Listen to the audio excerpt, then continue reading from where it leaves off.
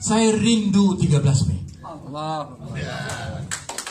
Dan saya juga rindu darah bangsa DAP. Saya rindu 13 Mei. Saya Anda rindu kata perlu 13 kita asah parang, kita asah parang.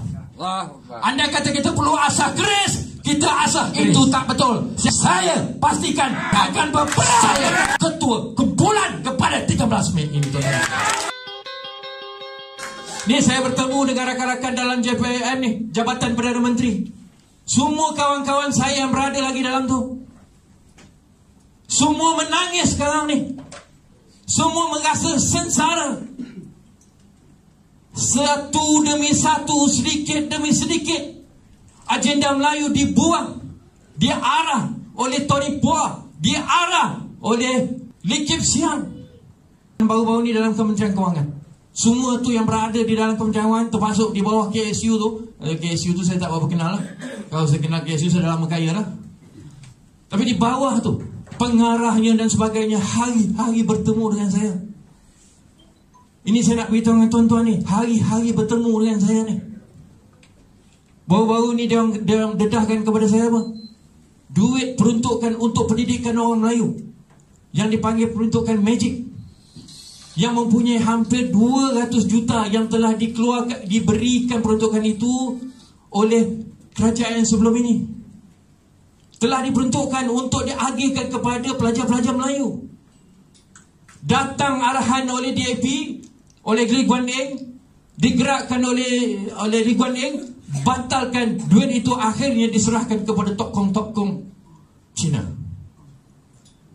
Bukankah ini kurang haja? Bukankah ini benda yang sepatutnya diberikan kepada pendidikan anak orang Melayu? Dibatalkan. Dan yang lebih mengejutkan apa yang berlaku dalam Jabatan Perdana Menteri hari ini di dalam Kementerian Kewangan. Hari-hari Sami datang. Hari-hari Buddhism datang. Solat semayang cara mereka setiap tingkat di pejabat Perdana Menteri. Ini permainan Asdek ni siapa ni? Asad, Asad ni siapa? Asad ni permainan siapa? Alhamdulillah kita nampak ada gerakan movement daripada peringkat PAS daripada pemimpin UMNO untuk duduk bersatu untuk mempertahankan perkara ini.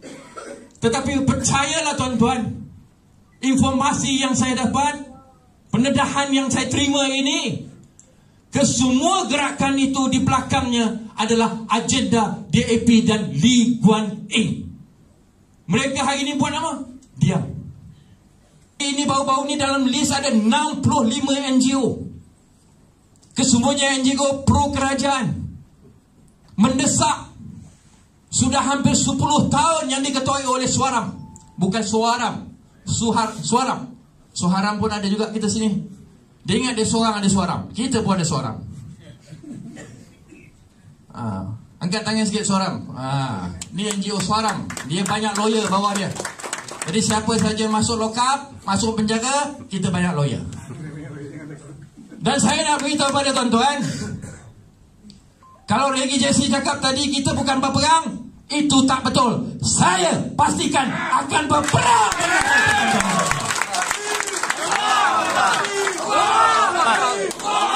Saya akan pastikan DAP akan terkubur dalam 2 tahun ini.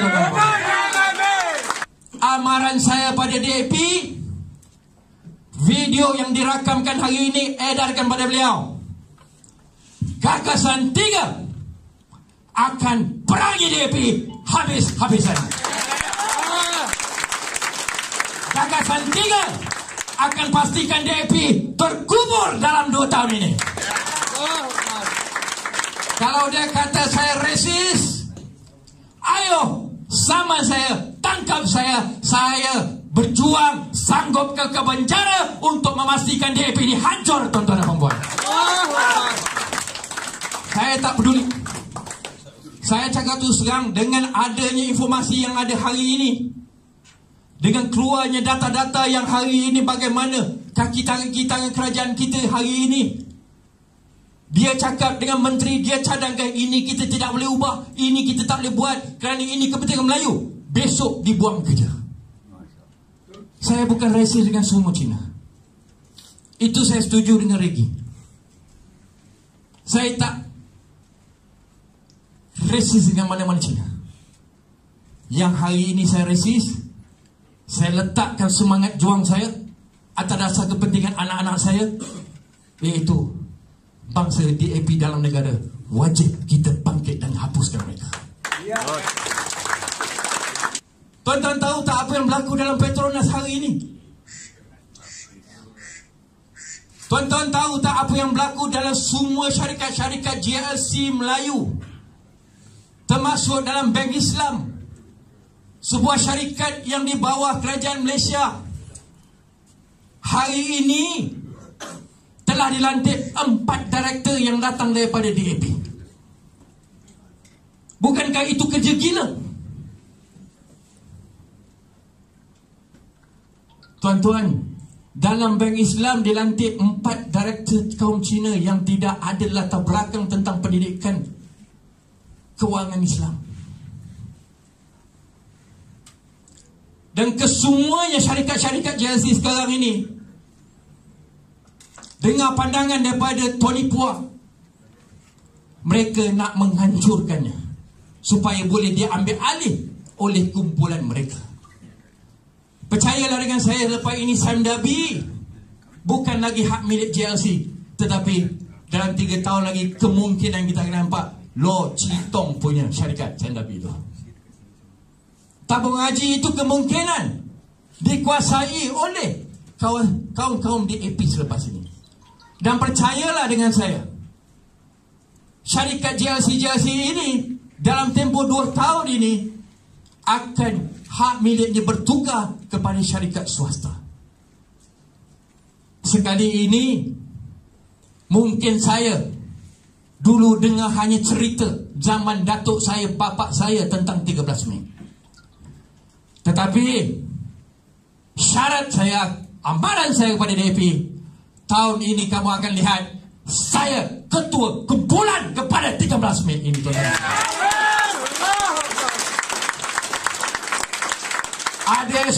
ada MIO dalam ni saya tak peduli. Kamu buat laporan segera, kamu pastikan DAP start jangan kurang ajar dengan Melayu sebab kalau kamu terus kurang ajar, saya Melayu akan terus kurang ajar dengan kamu. Anda kata mana-mana pemimpin parti politik tidak mau duduk dan bergabung, kita gabungan tiga akan sayang mereka lebih teruk daripada kita serang DAP. Kamu hanya jangan cakap. Pemimpin Melayu jangan cakap. Kita ni juga pemimpin. Kita semua ni pemimpin kecil. Kita ada gerakan ahli-ahli kita. JMM ada ahli. Epanko ada ahli. Kamu ada ahli. Semua di antara ini adalah ketua-ketua yang ada ahli. Dan ahli kita harus pun mula untuk duduk bergabung dan desak pemimpin Melayu kamu perlu bergabung atas kepentingan rakyat Melayu dan Islam tuan-tuan dan puan jangan hanya sekadar main politik. Dan amaran saya saya rindu 13 Mei. Saya rindu 13 Mei. Andai kata perlu kita asah parang kita asah parang Andai kata kita perlu asah keris kita asah keris Siapa yang ada pistol? Jangan ada pistol lah sini. Ini rakaman atau tidak? Kalau rakam bagi pada DAP amaran keras saya, kalau kamu kuang haja, kita Melayu akan lebih kuang haja. Dengan itu, saya hadir. Saya mengucapkan terima kasih kepada sahabat-sahabat. Ini round pertama. Ada yang kata, Datuk dalam Dewan beranilah. Dan saya cabar hari ini kita mulakan dengan UK Perdana. Ya. Perhimpunan awal kita. Kita akan gabungkan kumpulan anak muda banyak, anak muda profesional, kalangan pemimpin politik yang nak ikut kita. Kamu, kita akan pastikan Melayu dan Islam kembali berkuasa dalam negara kita. Kita akan pusing seluruh negara. UK Perdana kita akan mulakan. 20 24 kita himpunkan seramai mungkin untuk kita tunjukkan lantangnya suara kita ini Kamu mulakan, kita akan mulakan.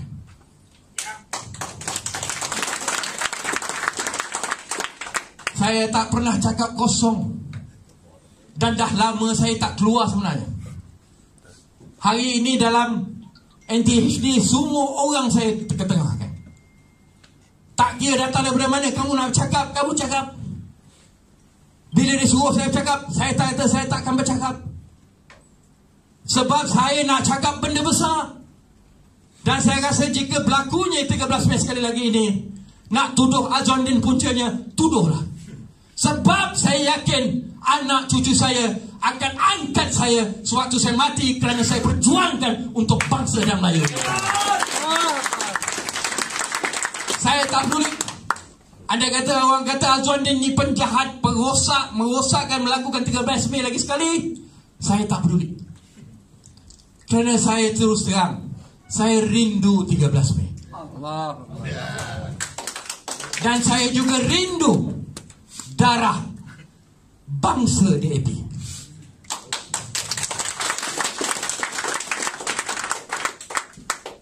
Kalau kamu rasa darah kamu itu free untuk digunakan, ayo lakukan. Kalau tak 13 kita buat 14.